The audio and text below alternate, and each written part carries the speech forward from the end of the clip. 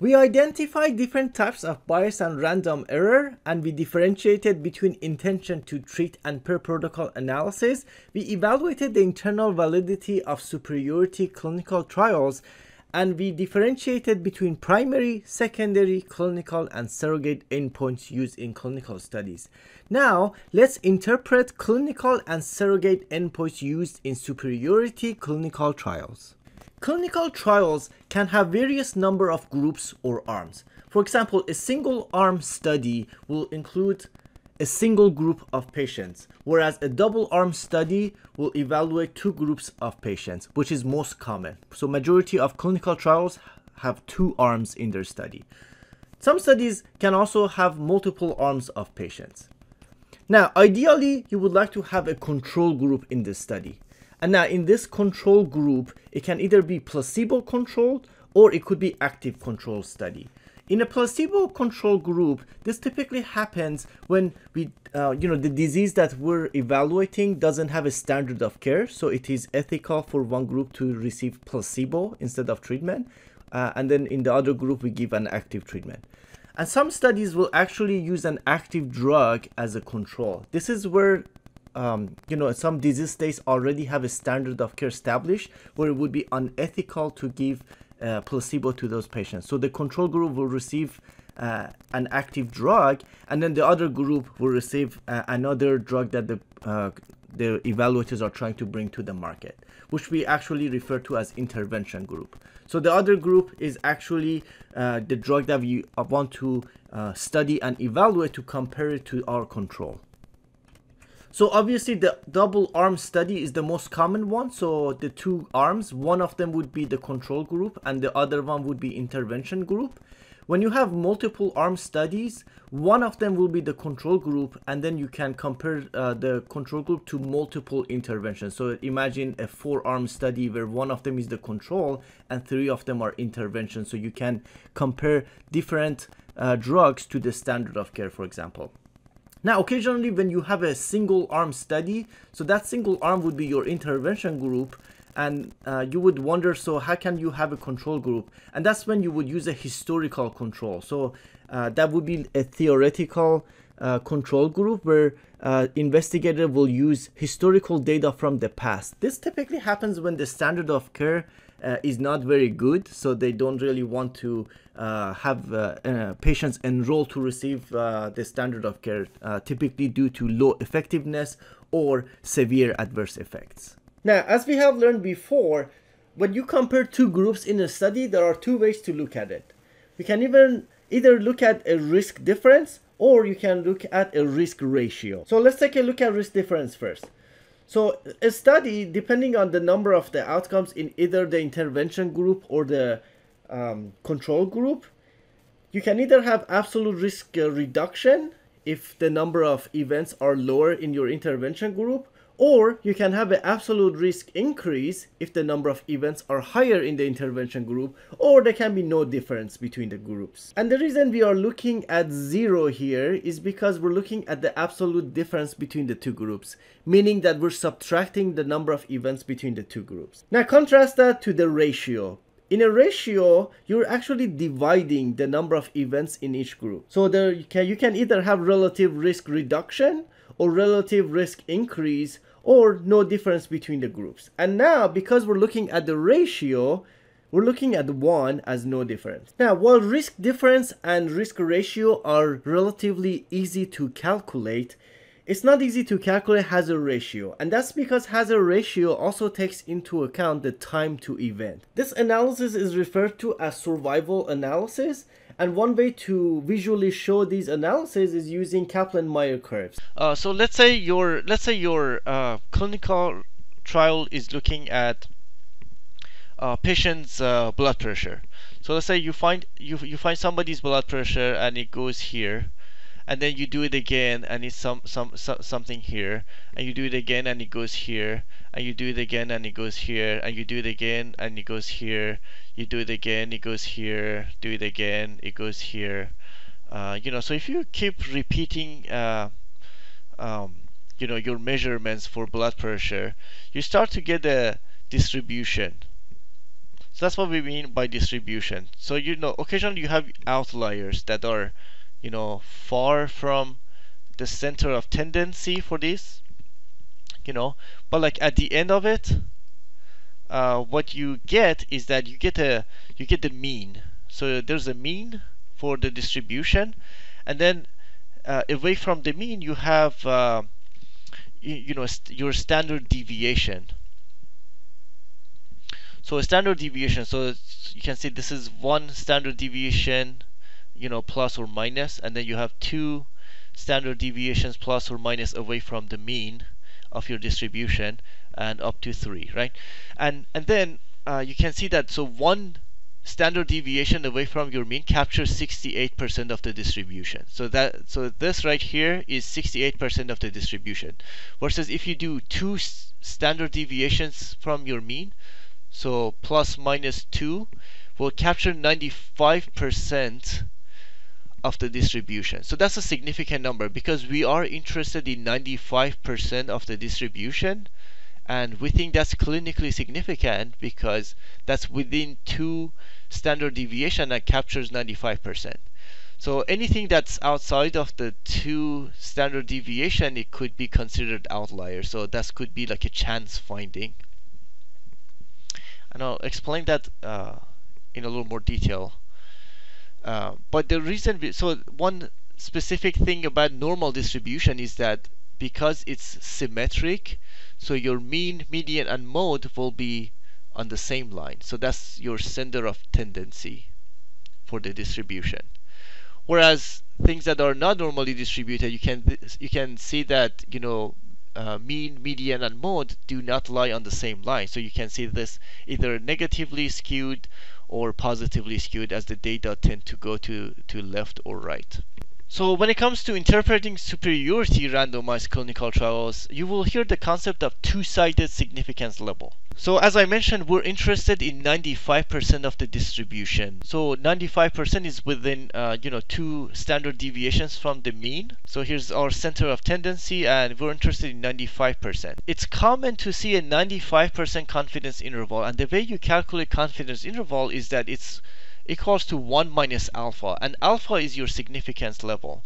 So as you uh, if you remember um, you know when you interpret p-values you need to know your alpha because a p-value is significant if it's less than your alpha. And what we typically do in clinical uh, in randomized clinical trials is that we commonly use a 5% uh, alpha or an alpha of 0.05 and that's why so 1 minus uh, 0.05 equals 0.95 or 95%. So anytime you have a alpha of 5%, you need to have a confidence interval of 95% uh, so that it uh, follows this rule for co uh, confidence interval. So, so what this means is that uh, obviously mu is the center of tendency or the mean of your distribution. So anytime you do an experiment, uh, what you find in that study is your mean and if you were to do that study again, chances are that you will not find the exact same thing. So if you do it again, it might be something different. And what we really mean here is that if you do the study again, we are 95% confident that it will be something between uh, within two standard deviation. So anything outside of that might be considered a chance finding. And that's why uh, you know when if you remember the concept of type 1 error so type 1 error means like a false uh, positive. Uh, it can either be on this side or this side and that's what we mean by two-sided. So it's a, it's a matter of whether it deviates from your finding to the right or to the left.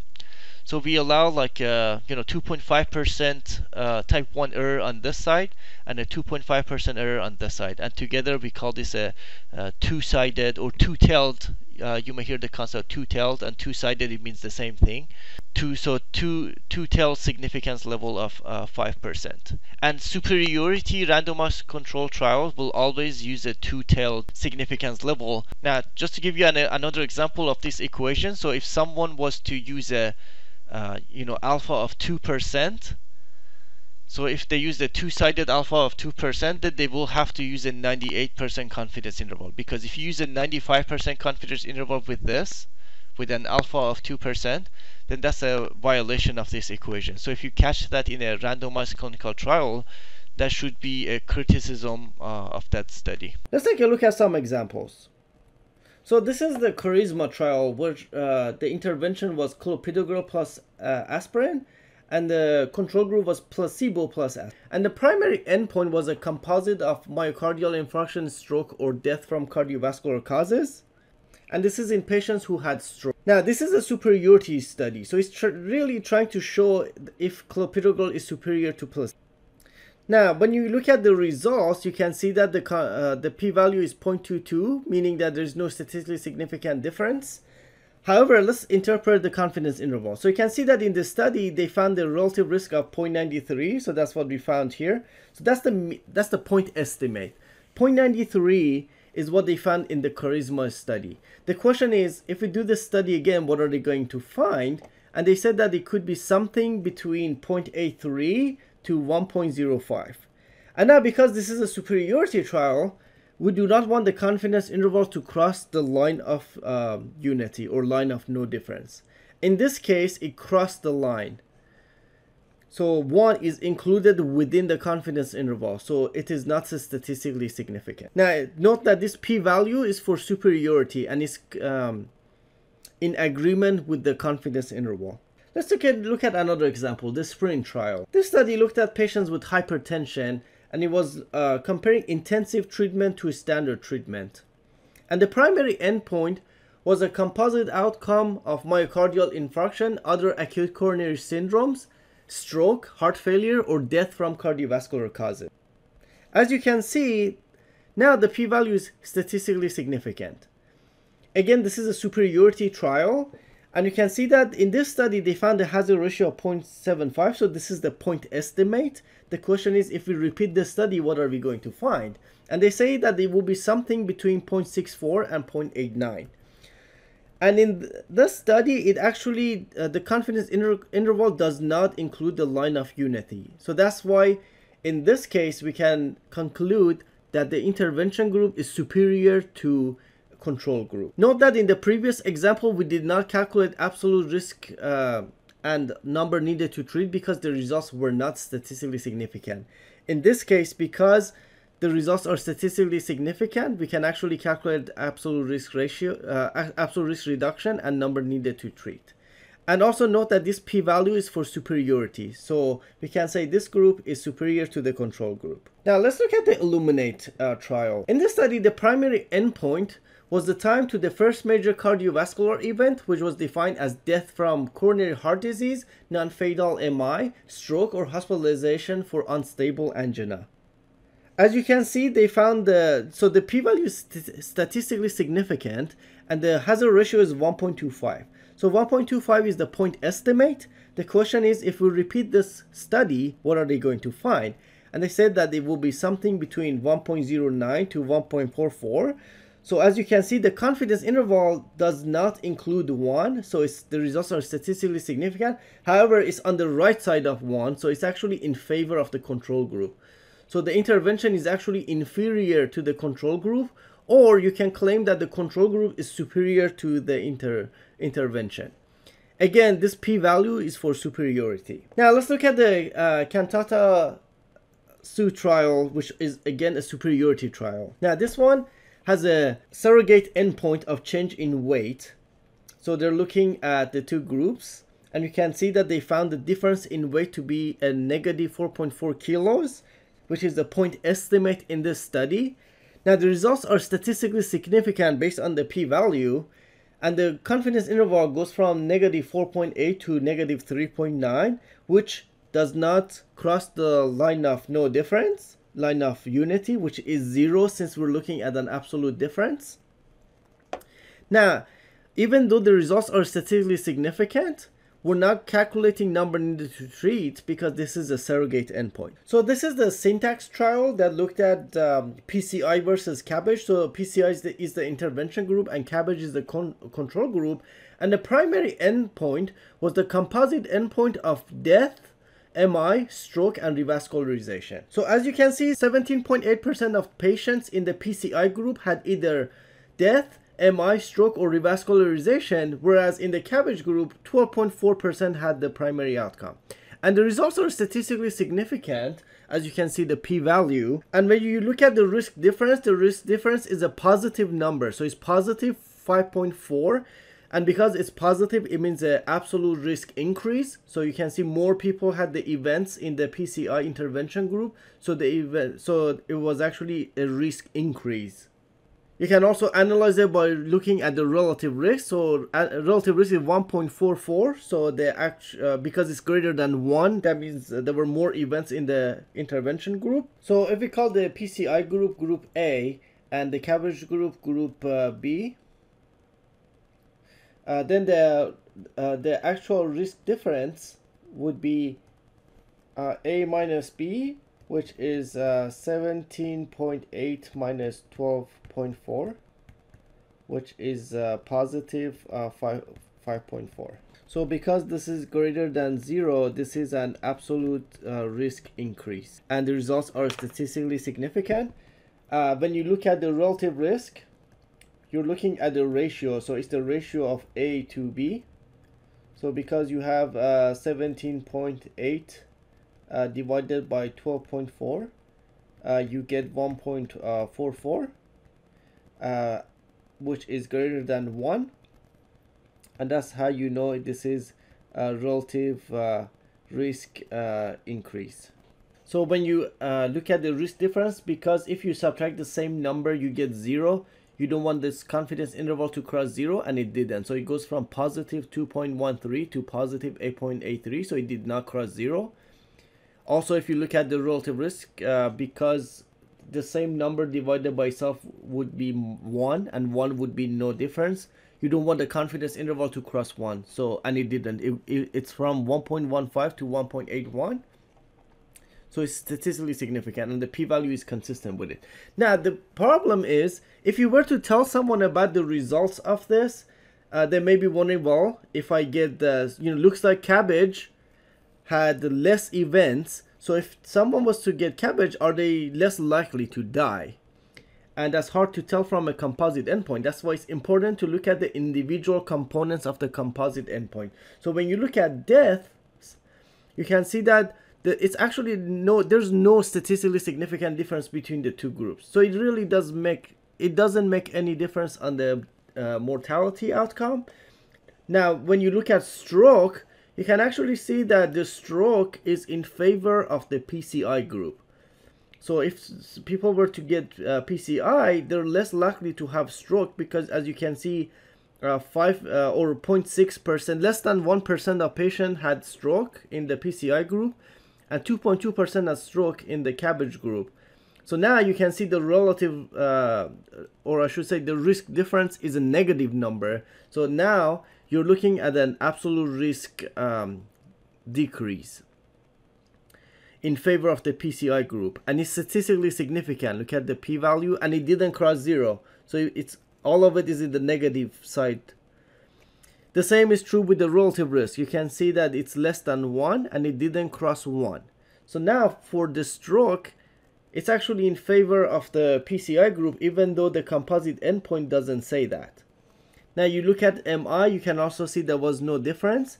And then when you look at the revascular subsequent revascularization, you can see that um, you know a lot fewer people had revascularization in the CABG group. So that's actually it's revascularization that's driving the composite endpoint. So although when you bundle all of them together, it looks like it's in favor of CABG, but it's really the revascularization that's driving it. So if someone didn't want to have stroke, it's actually to their benefit to get the PCI intervention.